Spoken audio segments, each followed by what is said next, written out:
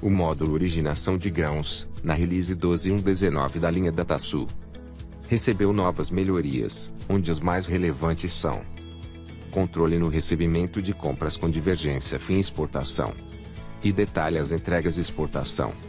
Valida a tolerância de diferença do peso armazenagem e peso origem a partir do estabelecimento.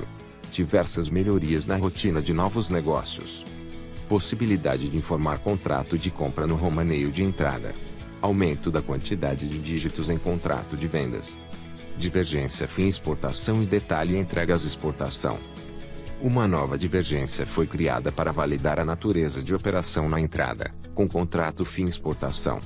O detalhe de entregas exportação traz as informações do vínculo de notas com memorando de exportação. Tolerância de peso armazenagem e peso origem. Será possível informar nos parâmetros de grãos por estabelecimento um percentual de tolerância de diferença de pesagem. Melhoria de novos negócios. Quando o componente está definido como data embarque, a data de vencimento do RED será o primeiro dia útil do mês subsequente. Na tela principal do registro de novos negócios, será possível demonstrar quais componentes foram fixados. Na aprovação do Trade Slip, quando o parâmetro detalhar aprovação estiver ativo, será exibido seus detalhes. Informar contrato de compras no romaneio.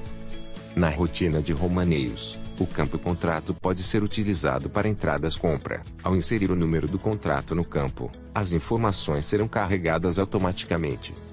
Número de dígitos ampliada para contrato de vendas. Para contratos de vendas com integração ao pedido de vendas, a quantidade máxima de dígitos foi ampliada de 7 para 8 casas. Outras melhorias foram realizadas. Veja a lista completa no documento técnico disponível no TDN.